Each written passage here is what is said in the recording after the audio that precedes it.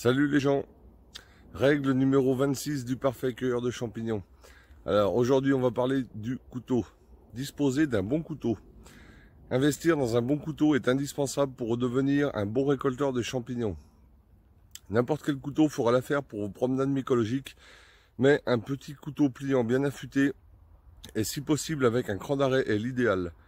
Vous trouverez facilement dans le commerce de véritables couteaux à champignons munis d'une lame courbe et solide qui vous permettra de récolter les champignons dans leur intégralité. Il dispose aussi d'une petite brosse qui vous sera bien utile pour éliminer de vos espèces la terre, les débris végétaux et même les petits animaux qui ont eu domicile dans l'ingrédient principal de votre future omelette. N'oubliez pas, si vous êtes étourdi, de fixer votre couteau par une chaîne ou une ficelle à votre ceinture.